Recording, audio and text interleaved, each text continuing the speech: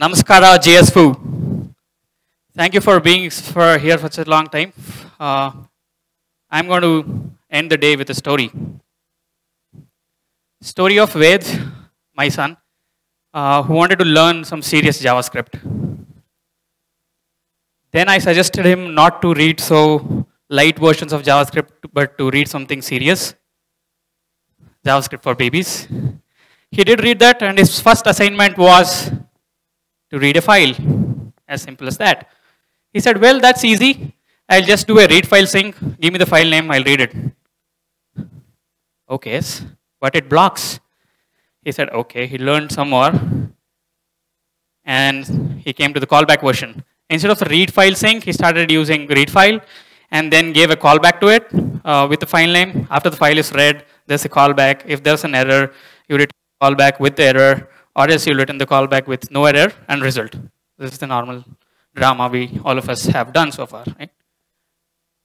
Okay, that's not bad. Uh, now, if you want to process a file, the same file you have read, now you have to do some process on it. How do you do that?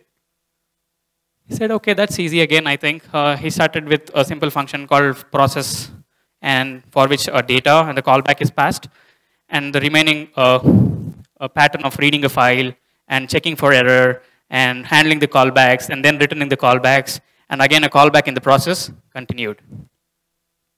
Yodang, I heard you like callbacks, so I can put your callbacks in your callbacks and call you back when your callbacks are done, right? this, this has been uh, uh, the common slide most of us use from Mozilla where it explains about the uh, pyramid of hell. Uh, this is an example where you want to cook some rice, right? So you, you pour some water, bring it to boiling temperature, lower the heat, add some rice, set time out, and how many callbacks we already have to eat our rice, right? Promises. When you know, then you know, right? Uh, promises are some objects that can that resolve that gives you uh, some result, and it, it's kind of promising you that I'll give you some result on a period of time, right? It can go through different states. It can be fulfilled or rejected. If it's fulfilled, then you'll chain it with then. If it's rejected, it will go to the catch. Uh, the fun part is with then also you can handle both uh, rejection and fulfillment. And finally, it is settled and you have some async operations. And the idea of promises is you return a promise and then you chain it. So again, it's like you could chain your promises with thens and catches, right? After you catch also, you can do it then. Here's a simple example uh, where you do a new promise and uh, you pass in a function with resolve and reject to it. If everything goes well, you resolve it. If there is some problem, you reject it with what the problem was. Then you can do a promise.then, and the first callback that comes in would be uh, the successful if it's resolved, or else it will be rejected. Uh, here's a simple node module I had written uh, called lie-fs. But today, if you're on the latest versions of Node, you can use the promisified version of fs, uh, fs slash promise, which comes as an util within Node. But with live.fs, uh, what basically it does is it promisifies all your uh, fs methods. So in this example, if you want to know the stats of your temp directory, you can just do fs.slash uh, fs.stats on temp, and you get a promise. You can console log it or error it out if there is an error. But there's a problem again with promises. If you're not careful, you'd end up with something like this. Well, there are mitigations uh, similar to how you can escape callback hell. You could name your functions, named functions, keep your promises separate. All those things are there, but it's it's uh, it's not a, it's not you know guaranteed that everyone would practice that, right? You would have seen many of the code bases having this kind of a thing. Here's one more uh, real world example uh, where you connect to the database and get the user information and get the user settings and then finally enable access, right? So you, you, it, it, almost looks like the callback hell, but with more of a chaining of then, right? How many of you know this guy?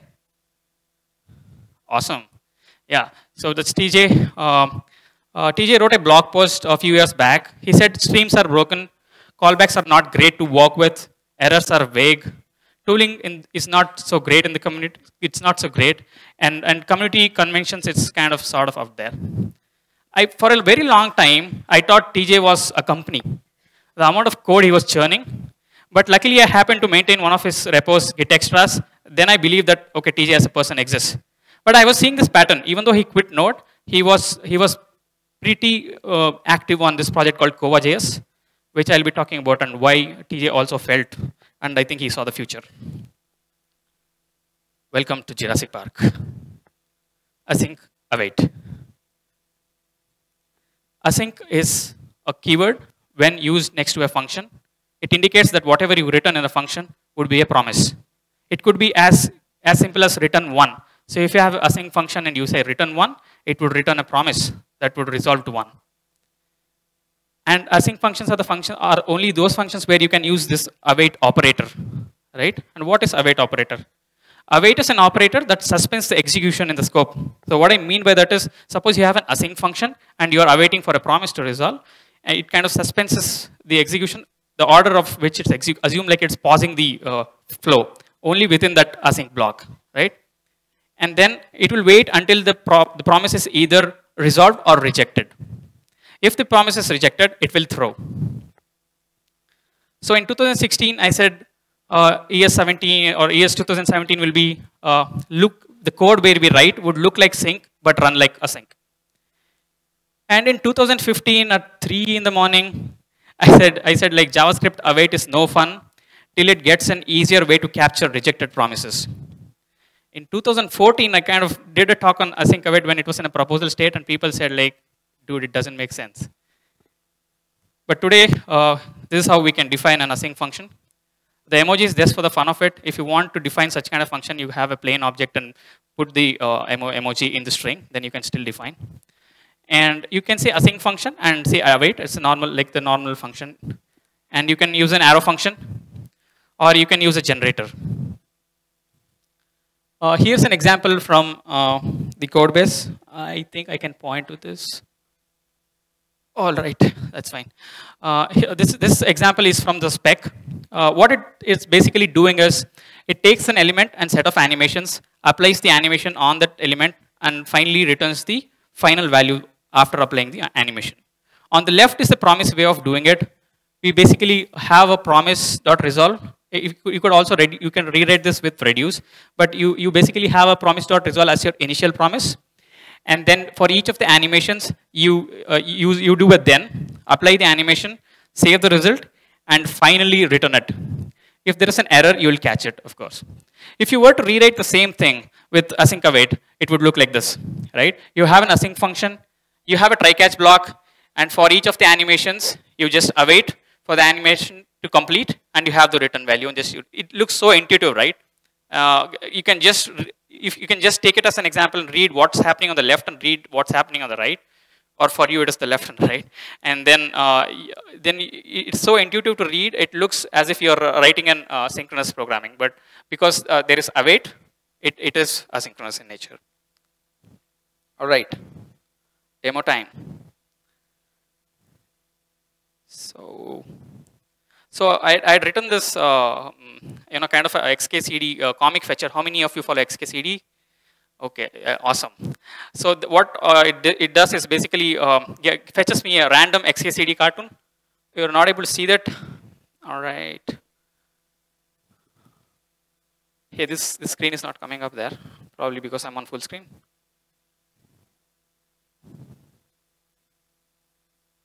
Okay. Oh, it, it's tough to see the big screen and type, man.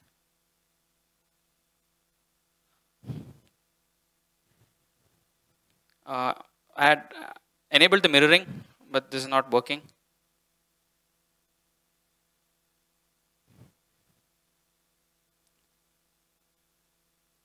Sorry?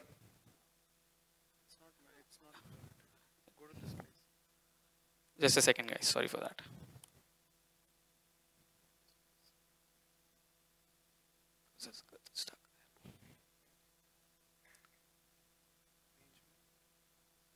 Ah, okay. All right.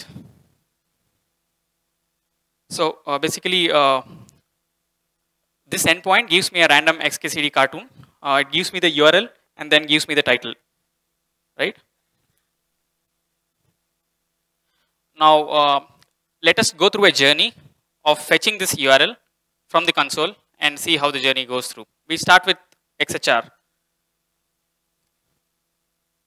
Oh, it's big now. We do a new XML HTTP request. The name is XML HTTP request. No more we are doing XML calls. No more it's an HTTP. It's more like gulab jamun. Neither it's gulab nor jamun, right? But but we owe our lives as JS developers for this. Like this is like the gift from Microsoft where the people uh, enabled the XML HTTP request and we do xhr.open which takes a method. In this case, it is get and that's not the URL. Uh, this is the URL to which we are talking.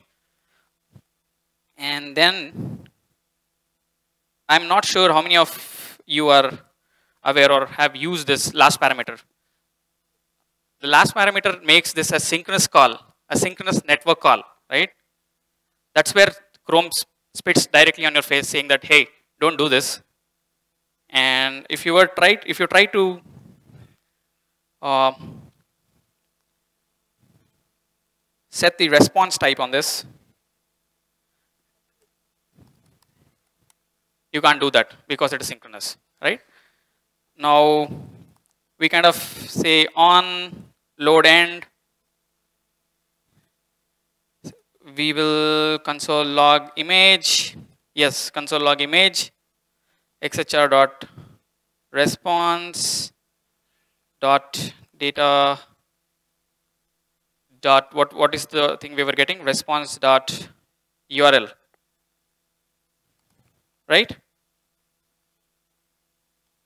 And then we send.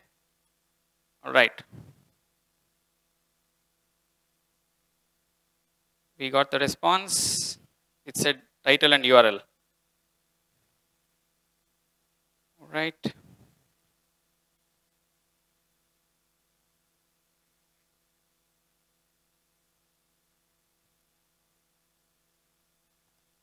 Console log image. What we got was this. Yeah this is how it should have rendered right? Now it's it's totally from the server nothing is mocked it's not my fault and we do a new xml http request again and this time, let's let's kind of make it asynchronous quickly, right? Uh, we again open up with get, but we'll not pass this false here. And then on load ended, we'll take this and let's quickly log what are we getting on uh, as response, right? Response.data.url. okay and then we send so it's not data.urls for sure right so we open again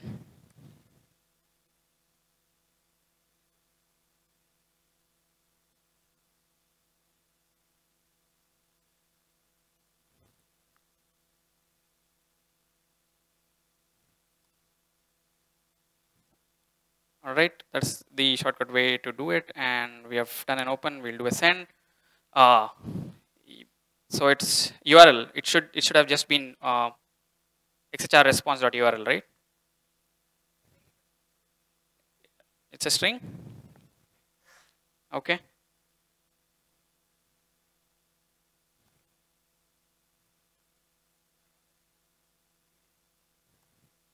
Very attentive audience at 5 PM. All right. Uh, we open again and we send. All right. That was perfect. So we get the point, right? We'll we'll go ahead to the next one and we'll pass it out there. Uh, so that so we started with XHR. We did a, a, synchronous call, then we did an asynchronous call. We saw the network request call happening. Um, now is the time for jQuery, right?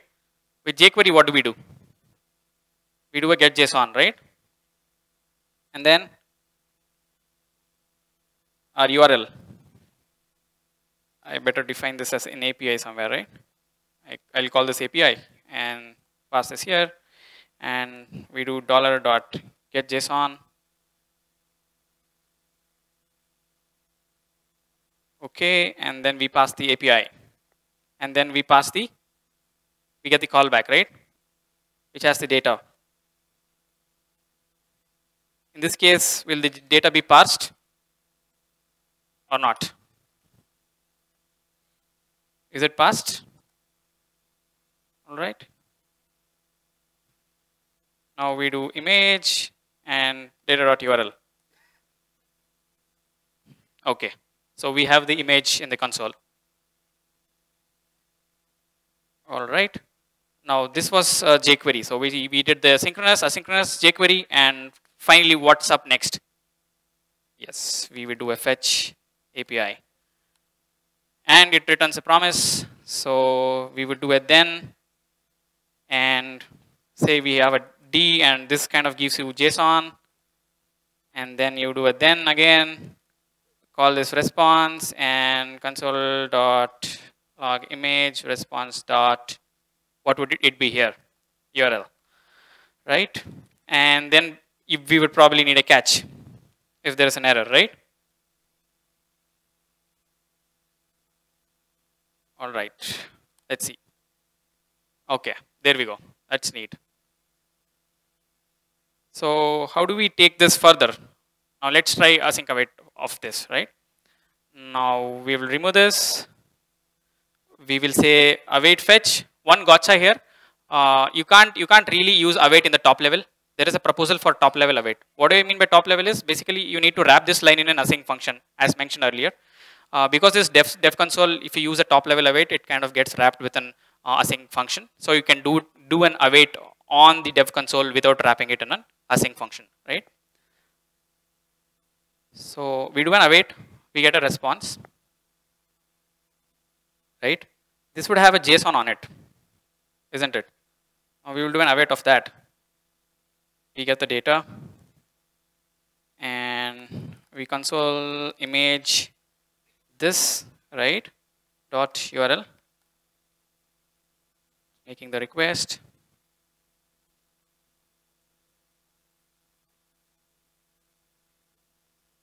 So we wrap this entire thing.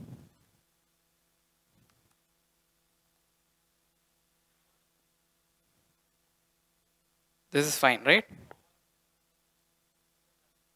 Yeah, no, as in where the uh, URL is coming, that's fine. So we wrap this entire thing. We get this. Okay, there we go. But it's a really bad way to do it as we noticed, uh, having await, await, await in a line again. This is just for the demo purpose to show what we are awaiting for. And thanks for being an enthusiastic audience and highlighting all the scripted mistakes. right. Awesome. So we we saw we kind of read we, we kind of saw the journey of uh, starting with a synchronous to asynchronous to uh, jquery kind of a thing to an await today. Right? Now let's get back. Can i have more? We kind of saw how how we do this. It's it's kind of clear. Okay. So here's a quick quiz question on what would uh, left print or log and what would right log by intuition, the left looks like it would log ABC, right? Right? Yes, no. Yes, but no, it will not.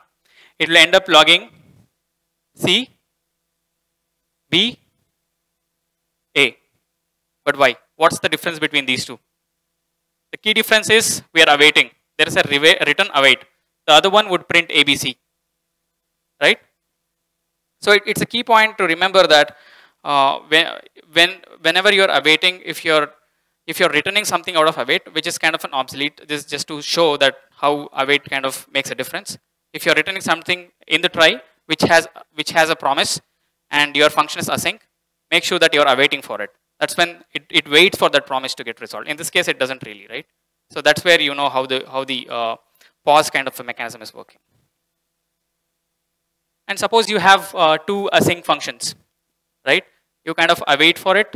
Rather, you could use promise.all and say await, await of promise.all and give two async functions. Whatever it responds, uh, returns would be R1 and R2.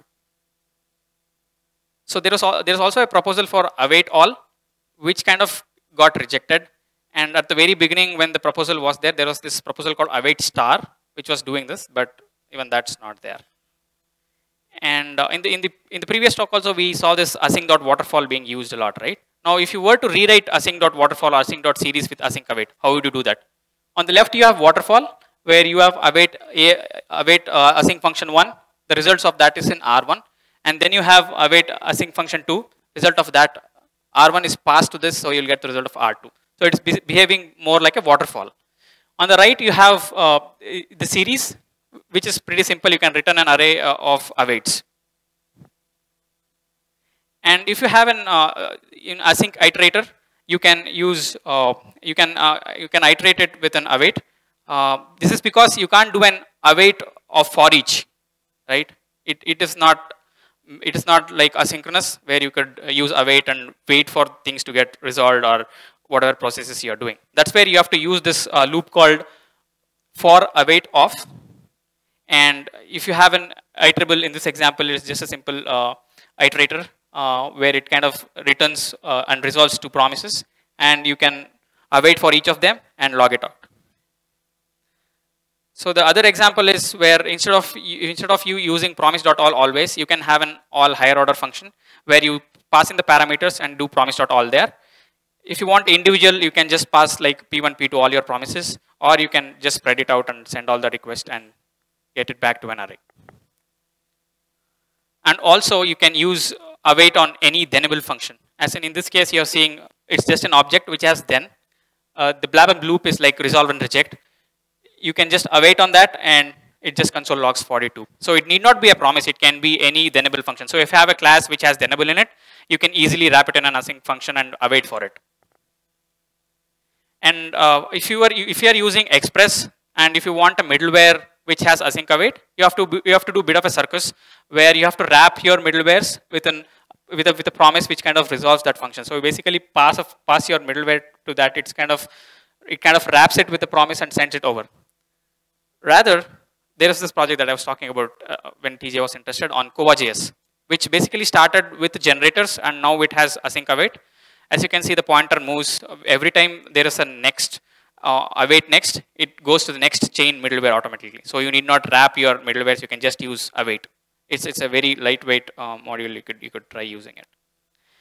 And the, the pain part, if you have observed, is uh, you have to wrap all of your uh, awaits if it is throwing with a try catch, right? Or you or there is or you could say promise dot something and then do a dot catch again but is, isn't it painful to have a try catch block everywhere where your await might throw so here is a wonderful module called await to js you just require it to as 2 and say await 2 of promise dot resolve which kind of gives you error and result arrays right? So it's pretty straightforward. You can do as many awaits you want without putting it in a try catch block.